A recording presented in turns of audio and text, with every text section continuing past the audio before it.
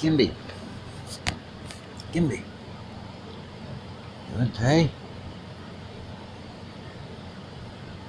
All right, you stay there. I go get help.